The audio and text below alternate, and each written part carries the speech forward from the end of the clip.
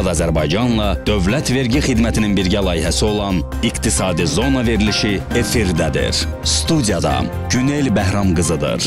Azad Azərbaycanın iqtisadi zonasında xoş gördük hər biriniz hörmətli tamaşaçılar. Geridə qoyduğumuz həftənin iqtisadi yekunlarından xəbər tutacağıq.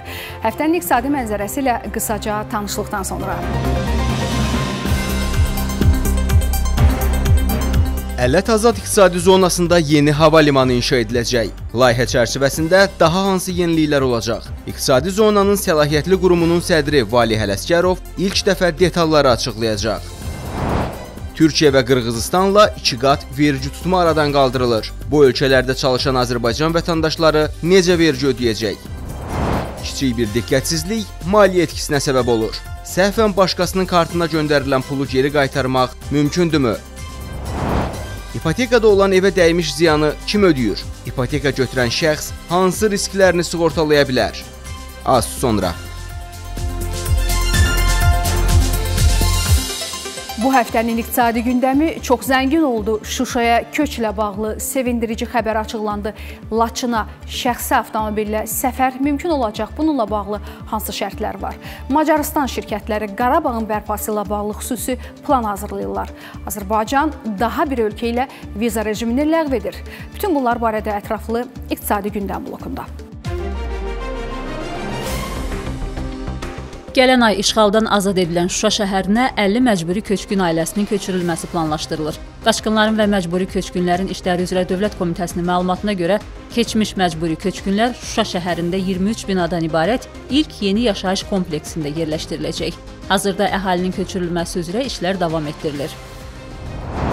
Vətəndaşlar öz şəxsi maşınları ilə Laçına gedə biləcəklər. Artıq bununla bağlı biletlər yolumuz qarabağa.az portalında satışa çıxarılıb. Fərdi minik avtomobillərində səfər üçün bir sürücü daxil olmaqla maksimum 9 nəfərə icazə alına bilər.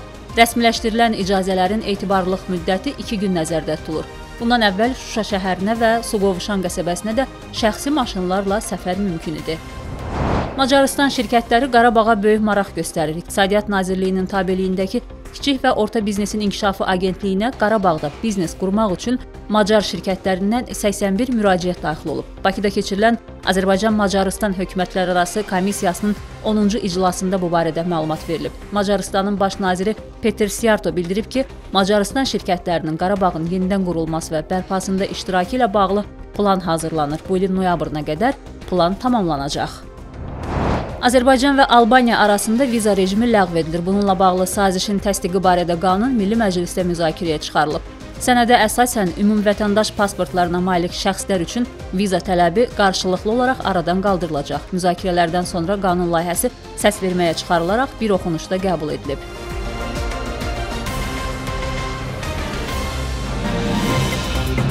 Ələt Azad İqtisadi Zonasında yeni hava limanı inşa ediləcək. Layihə çərçivəsində daha hansı yeniliklər olacaq? İqtisadi zonanın səlahiyyətli qurumunun sədri Vali Hələskərov ilk dəfə detalları açıqlayacaq. Az sonra Financial Times-ın FTI Intelligence nəşri 2023-cü ildə ən çox birbaşa xarici investisiyalar yatırılan şəhərlərin top 100 reytinqini açıqlayıb. Bakı bu siyahıda 3-cü yerdə qərarlaşıb. Bu barədə İqtisadiyyat naziri Mixail Cabbarov sosial şəbəkə hesabında məlumat paylaşıb. Nazir qeyd edib ki, bu mötəbər nəticə Azərbaycandakı işgüzar mühitə beynəlxalq etimadın yüksək olduğunu bir daha təsdiq edir və fəal iqtisadi əməkdaşlıq üçün yeni stimullar yaradır. Paytaxtımızın bu önəmli reytinq siyahısında yer almasını şərh edən İqtisadiyyat Nazirinin müavini Sahib Məmmədov qeyd edib ki, ölkə prezidentinin rəhbərliyi ilə həyata keçirilən sistemli islahatlar nəticəsində biznes və investisiya mühiti daha da yaxşılaşdırılır və nəticə etibarilə ölkəmizin investisiya cəlb ediciliyi artır. Bu isə dünya biznes ictimaiyyətinin və reytinq qurumlarının da diqqətini cəlb etmiş olur.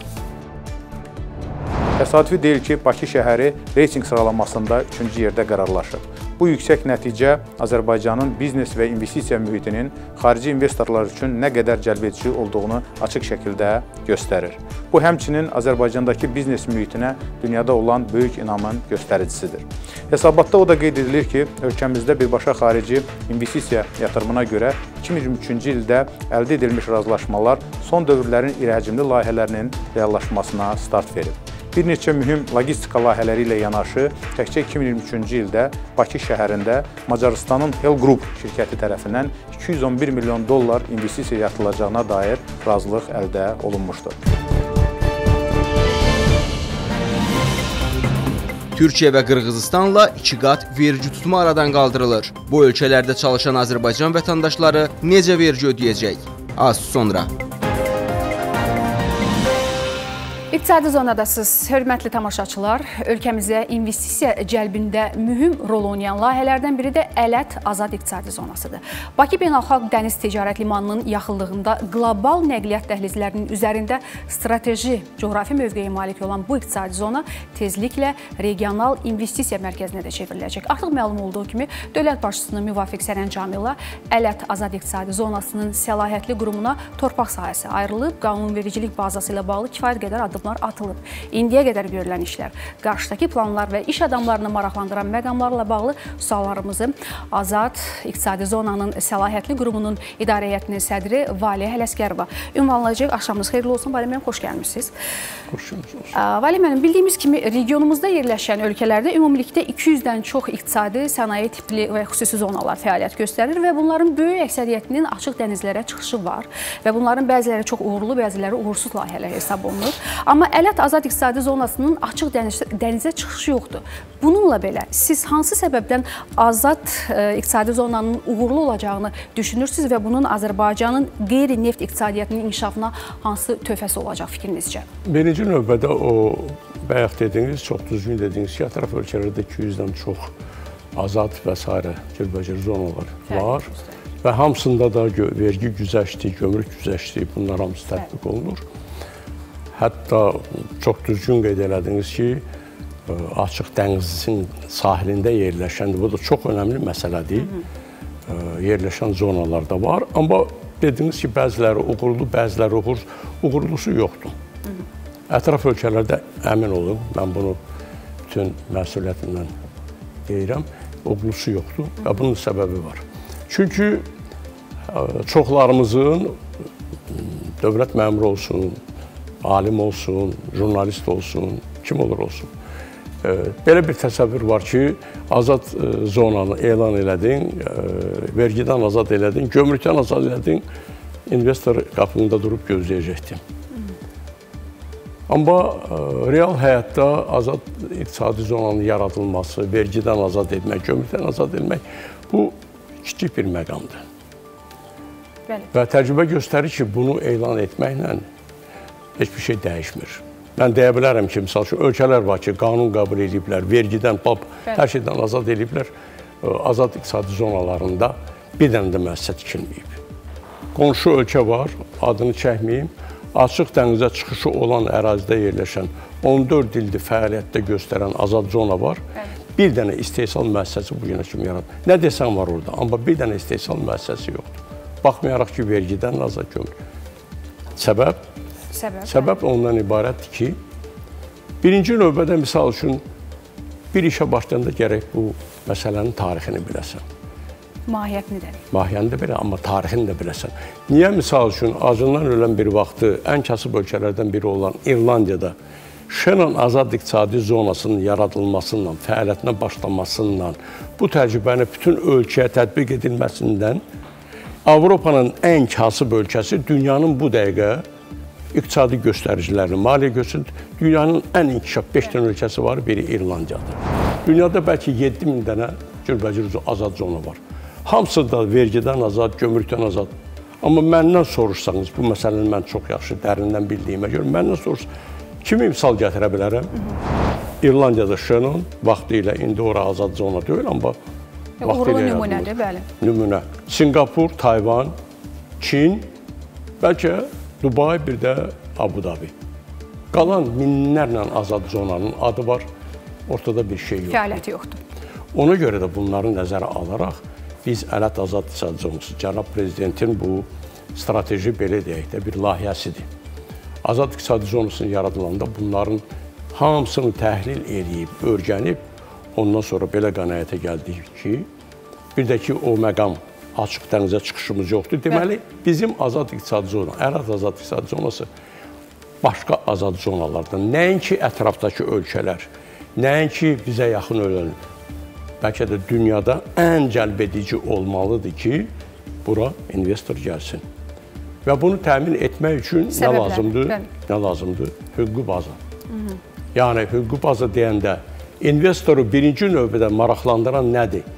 Mən adi qaydada olaraq burada bir biznes yaratsam, burada bir müəssisə inşa etsəm, qapı-qapı bu nazirlikdən bu komitəyə, o komitədən bu nazirliyə ya da ki, bütün məsələlərin bir yerdə bir nöqtədə həll edəcəklər.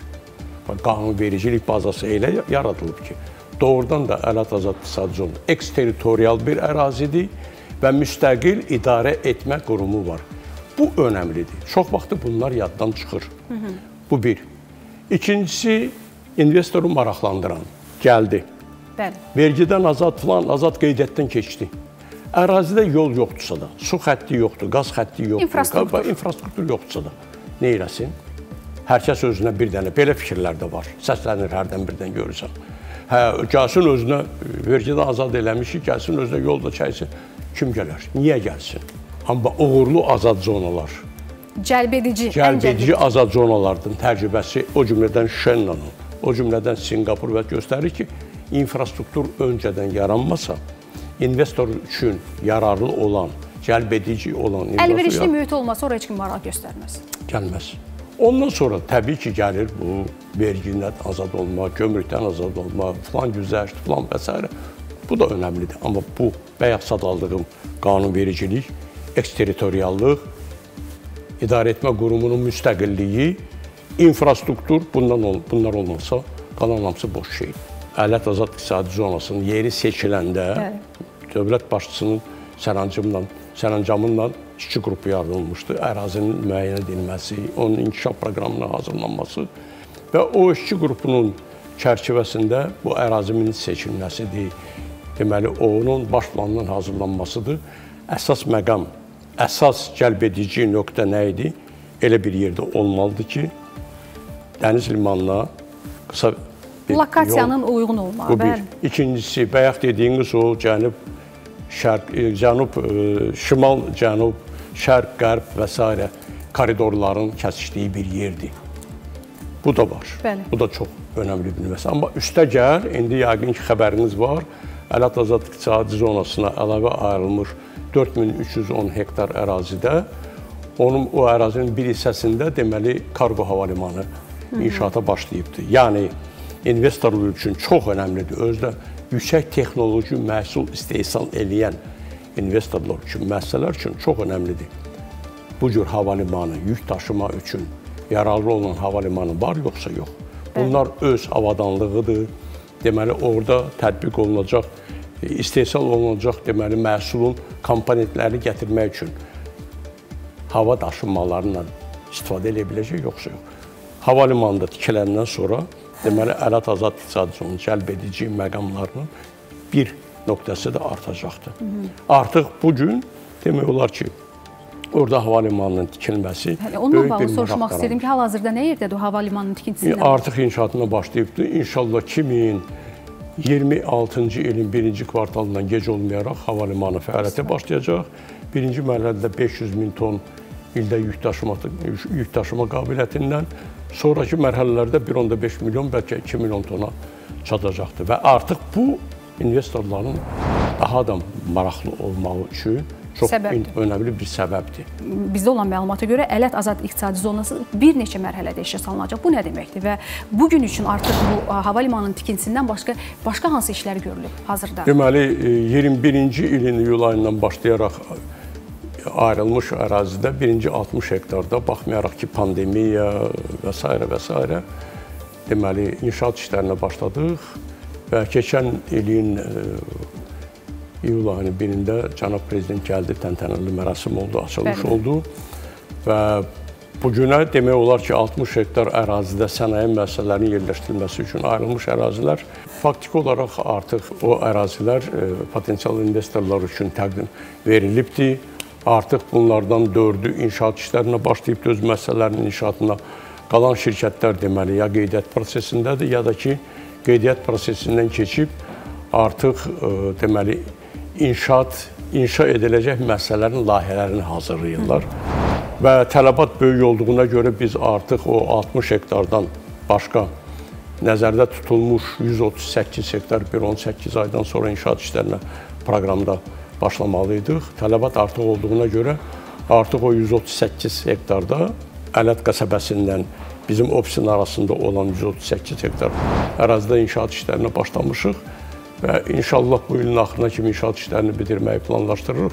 Amma bu gün o 138 hektardan 110 hektarı sənaye müəssisələrinin yerləşdirilməsi üçün e, nəzərdə tutulub. Onun demək olar 84 hektarı potensial investorların tərəfindən artıq əllərini qoyublar, bizlə rastılaşdırılıb. Bizim bir ərazimiz var, ağır sənaye üçün ayrılmış. Bu dəqiqə danışıq aparırıq.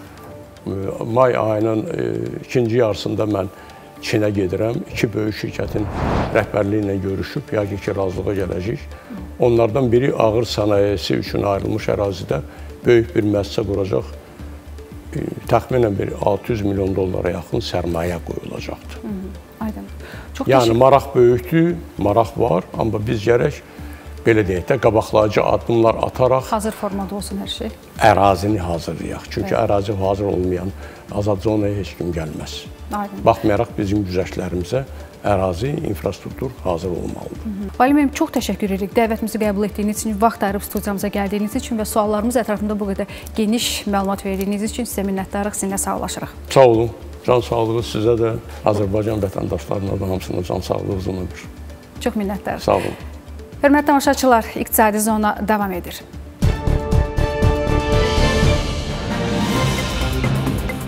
İpotekada olan evə dəymiş ziyanı kim ödəyir? İpoteka götürən şəxs hansı risklərini sığortalaya bilər? Az sonra. Azərbaycan, Türkiyə və Qırğızıstanla iki qat vergi tutmanı ləğv edir. Bununla bağlı hər iki ölkə ilə saziş imzalanıb. Türkiyə ilə yenilənmiş saziş parlamentdə qəbul olunub. Qırğızıstanla isə ilk dəfədə belə bir saziş imzalanır. İki qat vergi tutma nədir? Yeni sazişlər nəyi dəyişəcək? Vətəndaşlara, iş adamlarına hansı təsirlər olacaq? Ümumiyyətlə, xarici ölkədə çalışan Azərbaycan vətəndaşı burada da vergi ödəməlidirmi? Mövzuyla bağlı Dövlət Vergi Xidmətindən açıqlama var. Sujet izləyək. gelecek.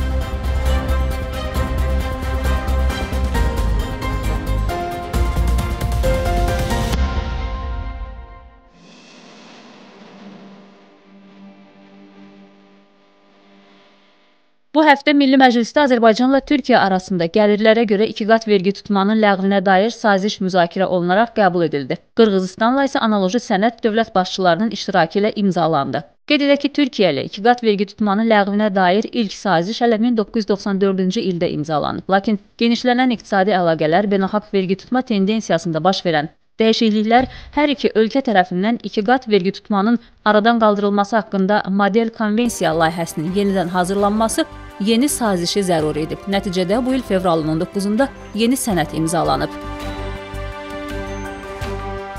Yeni imzalanan sazişdə e, xüsusi olaraq e, royaltilərə və faizlərə münasibətdə vergi qanunvericilikdən fərqli olaraq aşağı vergi dərəcələri müəyyən olunmuşdur ki, Bu da e, hər iki ölkə üçün investisiya potensialının artmasına gətirib çıxara bilər. Eyni zamanda e, araşdırma və inkişaf şirkətləri üçün də əlavə təşviq edici e, funksiyanı daşıyacaqdır yeni sazişin imzalanması. Sazişdə mühüm müddəalardan biri də vergidən yayınmanın qarşısının alınmasına yönəlib. Bununla bağlı önəmli əlavələr edilib. Yeni imzalanan sazişdə vergi borclarının yığılmasına yardım haqqında maddə də öz əksini tapıbdı. Bu maddənin əsas məqsədi iki ölkənin vergi qurumları arasında vergi borcundan yayınan e, hüquqi və fiziki şəxslərlə bağlı effektiv mübarizənin aparılmasına gətirib çıxaracaqdır. Həm Qırğızistan, həm Türkiyə ilə imzalanmış sazişlər gəlir vergisinə münasibətdə tətbiq olunur. Məsələn, Azərbaycan vətəndaşı Türkiyədə gəlir əldə edirsə, hər iki ölkədə vergi vermək riskindən azad olur. Vergi eksperti Cavid Vəlizadə deyir ki, vergi məcəlləsinə əsasən Azərbaycan vətəndaşı olan və burada 182 gündən artıq qalan, daimi yaşayış yeri bura olan şəxs rezident sayılır. Xaricdə işləyən və gəlir əldə edən hər bir rezident isə Azərbaycan dövlətinə vergi ödəməlidir. Lakin bu zaman hesablama fərqli aparılır. Bir nümunə üzərində baxsaq, deyək ki, Azərbaycan Respublikasının mənfəət və gəlir vergisi 20% dərəcədir. Xaricdən deyək ki, mənfəət vergisi və yaxud da gəlir vergisi 15%-dir. Şəxs deyək ki, 10 min manat gəlir əldə etmişdir. Bu 10 min manat xaricdə bu gəlirə görə 1500 manat dövlətə, həmin dövlətə vergi ödəmişdir. Azərbaycanda isə bu gəlirə görə 2000 manat dövlətə vergi ödəməlidir. Bu zaman 127-ci maddə işə düşür ki, bu zaman bildirilir ki, onun orada xaricdə ödədiyi vergi Azərbaycan Respublikasına qədər azaldılır. Yəni o 2000-dən 1500 manata çıxmaqla yerdə qalan 500 manatı Azərbaycan Respublikasının dövlət büdcəsinə ödəməlidir. Bəs əgər rezident gəlir vergisi misal üçün 25%-dən yüksək olan bir ölkədə işləyirsə, bu zaman ödəniş necə hesablanır? Ekspertin sözlərinə görə bu halda həmin şəxs Azərbaycan dövlətinə heç bir vergi ödəmir, çünki onun xarici ölkədə verdiyi gəlir vergisi 20%-dən çoxdur. Xatırladaq ki, Azərbaycan müstəqillik dönəmindən bu günə kimi 57 ölkə ilə ikiqat vergi tutmanın aradan qaldırılması haqqında saziş imzalayıb ki, bunlardan 54-ünün tətbiqinə başlanılıb. Qırğızistan ikiqat vergi tutmanın qaldığı yeganə türk dilli dövlət idi ki, aprelin 24-də imzalanmış sənədlə bu hal aradan qaldırılır. Adı çəkilən sazişin imzalanması türk dilli dövlətlərin vergi sahəsində əməkdaşlığının möhkəmlənməsi üçün böyük önəm daşıyır. Ülviyə Sabir qızı Samir Göylərli, Azər Nağıyev, Dəfa Şəhlai, İqtisadi Zona.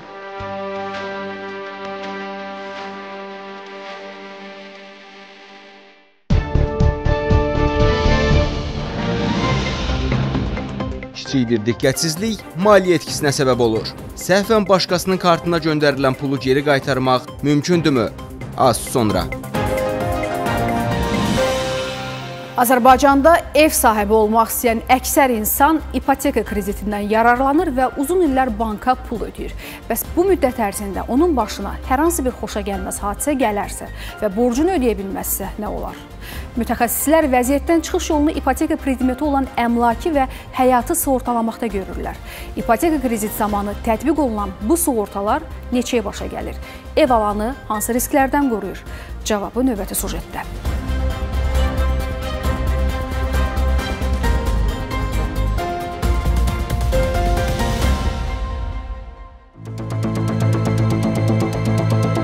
İpoteka krediti ilə mənzil alan şəxs əmlakını könüllü sığortalaya bilər. Nəticədə onun evində hər hansı bədbəxt hadisə baş verdiyi zaman o zərərə düşərsə və krediti ödəyə bilməzsə, bu zaman onun borcunu sığorta şirkəti bağlayır.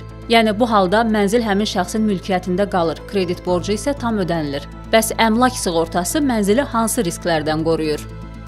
Həmin sığorta məhsulu ilə sığortalandığınız zaman sizin əmlakınızda baş verəcək yanğın hadisələri, eyni zamanda su basma hadisələrindən təminat verir. Təbii fəlakətlər fonunda baş vermiş hadisələr üzrə zəlzələ, tufan, qasırğa kimi təbii fəlakətlərdə sığorta təminatına daxildir.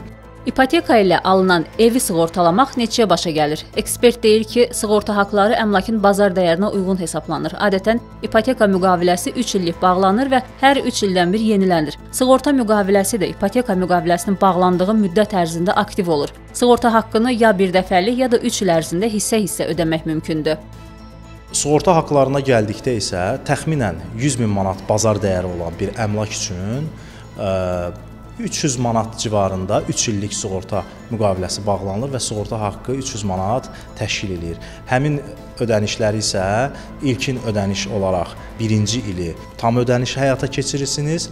Yerdə qalan illər üzrə isə vəsaiti, sığorta haqqını siz 24 aya bölərək hissəli ödənişlərlə həyata keçirməyə imkanınız olur. Həyat sığortası isə ev alan şəxsin vəfat etməsi, xəstəlik və ya bədbəxt hadisə nəticəsində əmək qabiliyyətini itirməsi kimi risklərdən qoruyur. Könüllü olan bu sığorta növündə də borcu sığorta şirkəti öz üzərinə götürür, amma əmlak sığortasından fərqli olaraq həyat sığortasında tariflər nisbətən yüksəkdir. Bu da vətəndaşların narazılığına səbəb olur. Bank eksperti Emin Kərimov vəziyyətdən çıxış yolu kimi bəzi təkliflər irəli sürür. Onun fikrincə, əgər həyat sığortası da əmlak sığortası kimi 3 ildən bir qalıq məbləğ üzrə yenilənərsə, aylıq ödənişlər də nisbətən azalar. Müştərinin yaşı artdıqca e, tarif dərəcələri də azalır, amma qalıq e, azaldığına görə burada artıq müəyyən dərəcədə azalmalar yaranacaqdır. İkinci məsələ isə həyat sığortası müqavilələrində franşizanın tətbiqidir. Bildiyimiz kimi franşiza müəyyən dərəcədə azad olmalar özündə ehtiva edir və bu səbəbdən vətəndaş e, öz seçiminə uyğun olaraq franşiza seçimini təyin etməklə, yəni bu seçimi etməklə sığortanın sığorta dərəcəsini, sığortanın tarifini azaldaraq aylıq ödənişlərini müvafiq qaydada azaldıra bilər. Qeyd edək ki, hazırda ölkədə bir çox sığorta şirkəti ipoteka krediti üzrə borcalanın əmlak və həyat sığortasını təklif edir. Ülviyə Sabir qızı Suada Quliyeva, Vəfa Şəhlai, İqtisadi Zona.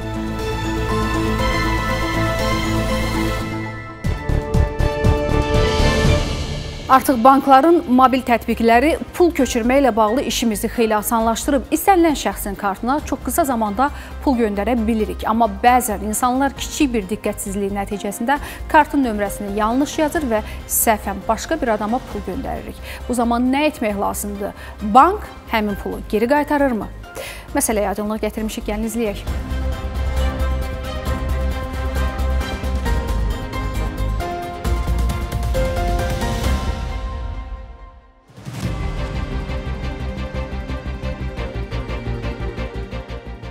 Bir çoxlarının yaşadığı problem tanımadığı şəxsin bank kartına səhvən pul köçürməsidir. Azərbaycan Banklar Assosiasiyasının eksperti Emil Rüstəmov deyir ki, bu adətən kartın 16 rəqəmli nömrəsini səhv yazanda baş verir. Vətəndaş pul göndərmək istədiyi adamın kart məlumatlarını yazarkən diqqətsizlik edir. Bəzən isə mobil tətbiqin kart skaner funksiyası məlumatı düzgün oxumur. Lakin belə texniki problemlər nadir hallarda baş verir. Çünki adətən mobil tətbiqlərdə bankların LUM alqoritmi ilə həmin kart məlumatının düzgünlüyü yoxlanılır. Yəni xüsusi bir alqoritm var və o 16 rəqəmin beynəlxalq ödəniş sistemləri tərəfindən verilən düzgün qaydalar çərçivəsində tərtib olunub olmadığını yoxlayan bir alqoritmdir. Yəni çox təsadüfi hallarda ola bilər ki, o alqoritmlə də keçmiş səhvən də olsa doğrusu bir insana gedib köçürmə baş versin. Bəs bu halla üzləşəndə nə etmək lazımdır? Ekspert bildirir ki, səhvən başqasının kartına pul göndərən şəxs ilk növbədə öz bankına müraciət etməlidir. Bank da pul köçürülən kartın hansı banka aid olduğunu müəyyənləşdirərək səhv ödəniş barədə onlara məlumat verir, pulun geri qaytarılmasına cəhd göstərir. Amma bank bunu sırf müştərisinə dəstək məqsədi ilə edir. Çünki qanunla bankın belə bir öhdəliyi yoxdur yenicə qəbul olunmuş ödəniş xidmətləri və ödəniş sistemləri haqqında qanunvericiliyin 31-ci maddəsinə görə ödəniş xidmət təchizatçısı ödəniş ə, istifadəçisi tərəfindən səhvən daxil olunmuş ödəniş tapşırığı ilə əlaqədar heç bir məsuliyyət daşımır. Lakin yenə də bank öz müştərisinə görə və müştəri məmnuniyyətinə görə cəhd eləyir və qarşı tərəf bankla əlaqə saxlayır. Bunun üçün ə, Mərkəzi Bankın nəzdində fəaliyyət göstərən banklararası kart mərkəzinin də xüsusi texniki imkanı mövcuddur ki, pulu göndərən bank həmin vəsaiti geriyə çəksin Bəzən isə elə olur ki, qarşı tərəfdən pulu almaq müşkülə çevrilir. Bu halda vətəndaş məhkəməyə müraciət edə bilər. Mülki məcəlləyə əsasən, əgər bir şəxs heç bir hüquqi əsası olmadan başqasının hesabına əmlak əldə edirsə, bu əsassız varlanma hesab olunur. Ekspert vətəndaşlara tövsiyə edir ki, bu kimi hallarla qarşılaşmamaq üçün kart-to-kart əməliyyatları zamanı çox diqqətli olsunlar. Daxil etdikləri kart məlumatlarını tam yoxladıqdan sonra pulu köçürsünlər. Ülviyə Sabir qızı, İbrahim Orucov, Vəfa Şəhlai, İqtisadi Zona.